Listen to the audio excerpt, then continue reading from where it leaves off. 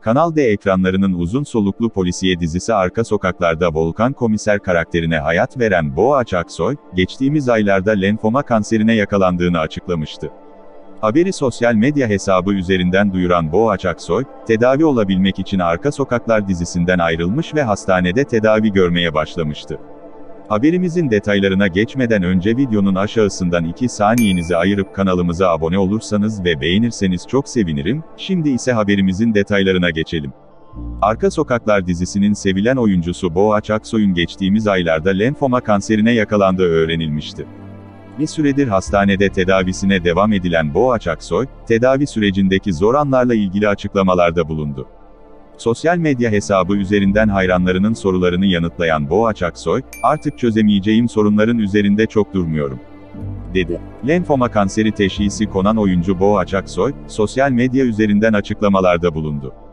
Takipçilerinden gelen soruları eğlenceli bir şekilde yanıtlayan Aksoy, ümitsizliğe kapılmadığını, hatta hastalığını araştırmadığını ifade etti.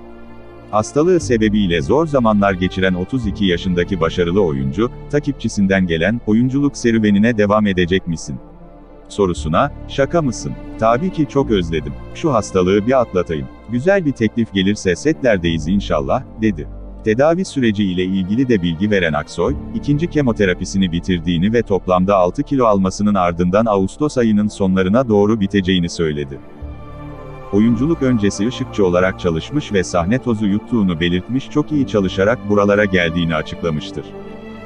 2012 yılında modellik yarışmasının ardından Arko Menduşjeli reklam filminde oynamıştır. Aynı zamanda da iki yıldızlı dalgıçlık belgesine sahiptir.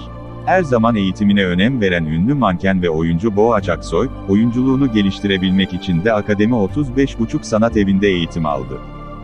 2012 senesinde Best Model yarışmasına dahil olan yakışıklı oyuncu yarışmada Türkiye üçüncülüğünü elde etmiştir.